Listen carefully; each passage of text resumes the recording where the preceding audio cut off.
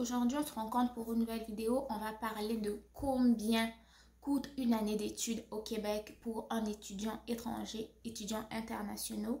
Et donc, sans plus tarder, allons à l'essentiel. Donc, premièrement, sachez que euh, les frais de scolarité pour les étudiants internationaux et pour les étudiants québécois ne sont pas pareils. Aussi, deuxième chose, les prix vont varier euh, selon la ville d'études. Et donc, euh, si vous, vous étudiez par exemple à Montréal, vous ne paierez pas les mêmes frais de scolarité que si vous étudiez ici à Chicoutimi. Et donc, en prenant tout cela en considération, moi, je me suis basée plus sur les frais de scolarité ici à Chicoutimi, donc au Saguenay-Lac-Saint-Jean. Donc, premièrement, euh, j'ai évalué le prix du loyer, ok? Ici, le loyer, si vous êtes peut-être au niveau du campus, vous pouvez payer à peu près 400 euh, et quelques votre chambre. Et si vous êtes à l'extérieur. Donc, si vous avez votre appartement, j'ai évalué le coût du loyer à peu près à 600 dollars pour un 3,5. Un 3,5, c'est-à-dire une chambre, euh, un salon, puis donc la salle de bain. Et euh, j'ai évalué le coût à 600 dollars, ok?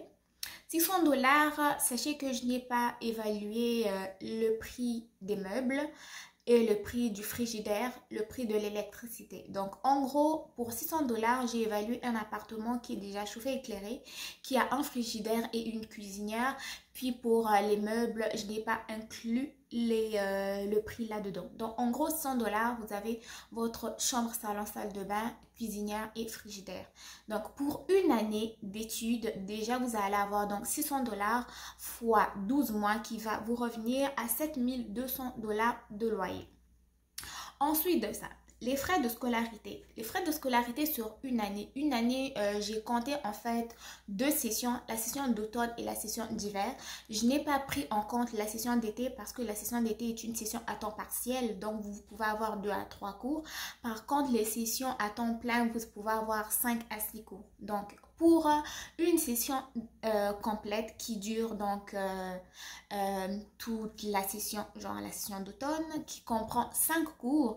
Pour un étudiant étranger, les prix cet hiver, c'était de, je vais vous le dire, c'était à peu près 10 500 dollars pour cinq cours. Ok, ici à Chicoutimi. Et donc, pour 10 cours qui vont équivaloir à une année, donc à deux sessions, cela revient à peu près à 20 000 dollars, voire 21 000 dollars. J'espère que jusque-là, vous me comprenez.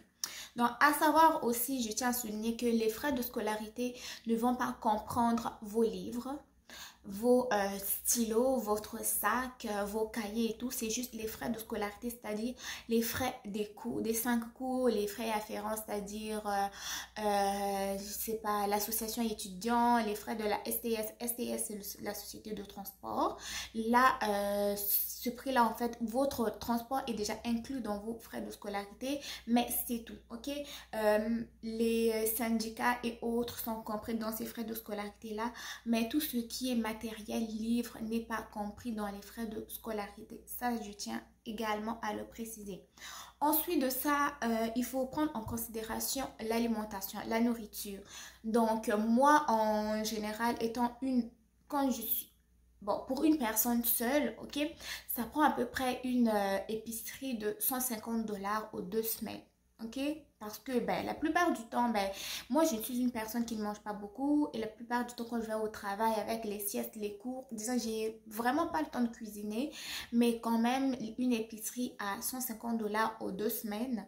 Et donc pour un mois vous allez avoir 300 dollars d'épicerie moyen et donc, vous allez avoir ces 300 dollars là fois 12 mois. Euh, moi, j'arrivais euh, à 3600. Je ne sais pas si j'ai bien calculé comme il faut là. Mais euh, prévoyez au moins 150 dollars d'épicerie aux deux semaines, 300 par mois. Ok? Et là encore, il faut aller dans les épiceries les plus abordables telles que Super C, Maxi, Walmart et autres. Donc, Un autre astuce aussi, essayez euh, d'aller faire votre épicerie en regardant les réductions. Des fois, ben, chaque magasin, des fois par mois ou semaine, je ne sais plus trop comment ça fonctionne, ben, chaque magasin a des rabais. Et donc, vous pouvez acheter tout ce qui est en rabais euh, tout en regardant la date de péremption, bien sûr, et faire des stocks. Ok, N'allez pas euh, une bonne fois acheter tout à moins cher, mais vous pouvez aller voir les rabais, tout ce qui est en spéciaux, acheter une grosse épicerie, puis retourner de une ou deux fois par euh, semaine pour acheter juste l'essentiel, voire du pain, les œufs et autres. Donc, Ensuite de ça, j'ai pris en considération l'Internet. L'Internet, sachez que ben, pour euh, l'appartement que je vous avais présenté, l'internet n'est pas compris. Donc si vous voulez prendre un abonnement par exemple chez Vidéotron ben vous pouvez prendre un abonnement basique de 65 dollars. Euh, je pense qu'ils ont d'autres forfaits aussi mais moi j'avais pris un abonnement à 65 dollars. En fait c'est 64, et quelques mais j'arrondis à 65 dollars. Et aussi prenez en considération que si vous êtes une personne qui a un cellulaire et que vous tenez à tout prix à avoir internet hors région couverte par, euh, par une internet wifi ben vous allez devoir payer aussi les frais d'internet. Mais sinon vous pouvez prendre un abonnement euh, cellulaire donc euh, téléphonique portable sans internet. Parce que je dirais que à peu près partout ici au Québec, on a de l'internet partout. Déjà, vous aurez avoir, vous aurez déjà votre abonnement Wi-Fi euh, qui vous coûte déjà 65 dollars. Vous allez aller à l'université, ben, il y a l'internet déjà. Vous allez avoir dans un restaurant, par exemple McDo, Tim Hortons, il y a déjà l'internet. Des fois même à votre lieu de travail, vous avez également de l'internet. Donc pour moi, euh, j'ai fait une erreur de prendre un abonnement téléphonique qui contenait l'internet, de surplus l'internet que je paye déjà pour l'appartement, pour les cours en ligne je le recommande pas beaucoup. Donc, si vous prenez euh, l'abonnement Internet pour votre appartement, ne prenez pas d'abonnement cellulaire avec Internet. Ensuite de ça, on va prendre en considération le transport. Le transport, je ne lui ai pas donné euh, un gros montant parce que ben, les jours ouvrables, donc du lundi au vendredi, vous allez pouvoir bénéficier du transport en commun qui est déjà payé dans vos frais de scolarité. Sachez que ben, à votre arrivée, lorsque vous allez euh, prendre votre carte d'étudiant, ben, vous allez pouvoir en même temps prendre votre carte de bus. Et sachez que ben, les autres transports, euh, taxi, vous allez euh, mettre l'argent de côté juste au besoin, genre la fin de semaine. Parce que les horaires de bus en semaine et en fin de semaine, c'est pareil, c'est pas pareil, j'allais dire. Et donc, vous pouvez vous mettre un petit budget de 25 dollars à côté juste au cas de. Genre, si vous voulez voir votre ami euh, un samedi, puis il habite un peu plus loin, puis vous voulez y aller taxi, mais vous pouvez prendre un taxi en ayant mis un petit budget, genre de 25 dollars quelque part, ok? Pour les frais de transport aussi, ben, si c'est l'hiver, ben, le petit budget que vous pouvez mettre de côté peut être... Hmm, nécessaire parce que ben, soit vous arrivez en retard, vous avez raté votre bus et vous devez vous rendre à l'école si vous n'êtes pas près de l'université ou bien vous devez vous rendre au travail que vous avez raté votre bus, il y a la tempête, la neige, etc. etc. Donc c'est bien d'avoir un petit fonds de transport euh, en cas de besoin à côté. Ensuite de ça, il y a une question d'assurance maladie. L'assurance maladie, bon, pour les étudiants qui sont québécois, il y a déjà la RAMQ, ok, Régie d'assurance maladie du Québec. Mais pour les étudiants internationaux, il faut souscrire à votre assurance maladie personnelle. Soit vous pouvez prendre celui de l'université ou vous pouvez prendre celui d'une banque de la place. Donc, les frais pour une seule personne, j'ai euh, mis un coût d'à peu près 700 dollars. Mais à savoir que euh, ces assurances maladie-là ne couvrent pas tout. Ils peuvent des fois couvrir euh, des frais médicaux, mais des fois pas de médicaments. Donc, c'est très important avant de souscrire à une assurance maladie de savoir ce que cette assurance couvre exactement. OK? Puis lui, j'ai mis à peu près 700 dollars de frais. Ensuite, deuxième chose et chose très importante, les vêtements, équipements, chaussures d'hiver, ok? Si vous arrivez au Québec en, en août, en juillet, quelque chose, et puis que vous débutez à la session d'automne, moi je vous recommande directement d'être équipé pour l'hiver, ok? parce que ben au Québec ici l'hiver est très euh, spécial. Je m'explique. C'est pas que ben l'hiver va commencer euh, en octobre toujours. Genre en 2017 l'hiver a commencé en octobre et en 2025 l'hiver commencera en octobre. Non, l'hiver fait ce qu'il veut en fait. Il débute quand il veut, il se termine quand il veut. Donc, c'est préférable quand vous arrivez, vous avez votre équipement parce que ben, des fois, vous pouvez euh, sortir un beau dimanche, aller rendre visite à un ami, vous revenez, il neige sur vous et vous rentrez chez vous. Le lendemain, vous avez des cours à l'université, vous n'avez pas de petit équipement d'hiver, même juste pour aller à l'arrêt de bus, mes amis, il faut que vous soyez équipés parce que déjà, vous ne savez pas la quantité de neige. Puis des fois, ben, c'est pas parce que la neige tombe qu'il va faire 3, moins 2. Non, la première hiver peut euh, faire moins 35, moins 25. Donc, si vous n'êtes pas équipé, là, vous êtes dans la MERDE. OK?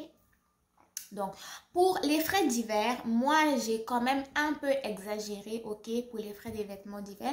J'ai mis à peu près 1500 dollars. Je m'explique. Je sais que c'est un gros montant etc.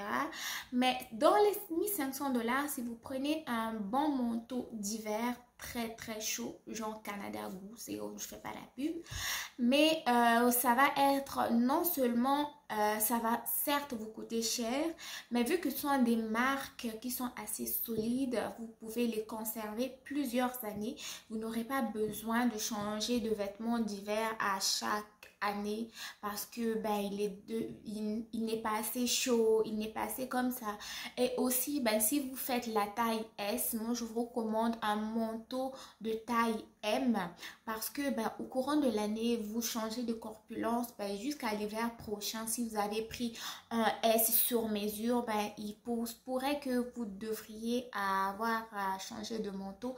Et si vous n'avez pas les frais ben c'est quelque chose Ensuite de ça, il faut aussi penser aux chaussures. Chaussures, chaussures, allez-y, prenez une bonne marque. Qu'elle soit chaude et aussi anti-dérapant, ok? En hiver, il tous les trottoirs ne sont pas toujours déneigés et euh, sachez que avec euh, le changement de température ben des fois il y a le verglas mais des fois il pleut des fois il neige et cette combinaison là fait qu'il y a une glace assez lisse. Donc si vos chaussures n'ont pas de semelles antidérapantes ben vous pouvez faire des chutes et même avoir des impacts crâniens. Ça ça peut être dangereux donc, pour finir, mon total arrive à 33 150 dollars. 33 150 Voilà, 33 150 dollars pour euh, une année.